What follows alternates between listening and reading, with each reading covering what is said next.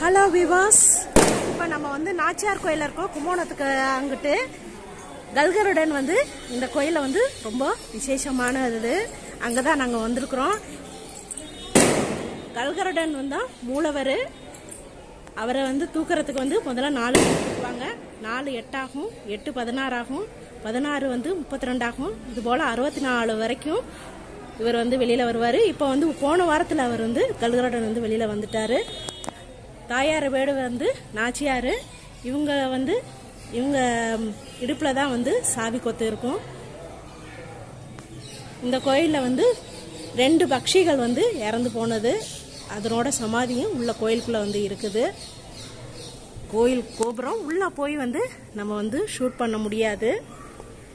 அதுக்கு வந்து பர்மிஷன் வந்து அவங்க வந்து கொடுக்கல. எடுக்கக்கூடாது எடுக்கக்கூடாது அப்படின்னு சொல்லி சொல்லிட்டாங்க. பாருங்கள் ஒவ்வொரு தூணும் எவ்வளவு நல்லா மொத்தமாக இருக்குன்னு நல்லா குண்டாக இருக்கு. தூணெல்லாம் இது வந்து வெளிக்கோபுரம். இதான் பூந்தோட்டம்.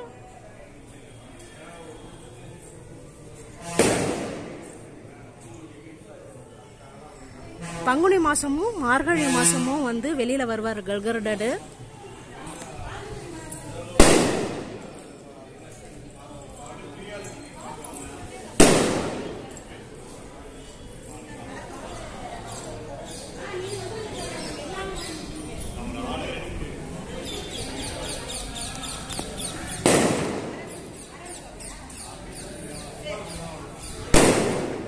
அவ்வளோதான் விவர்ஸ் கோயில் வந்து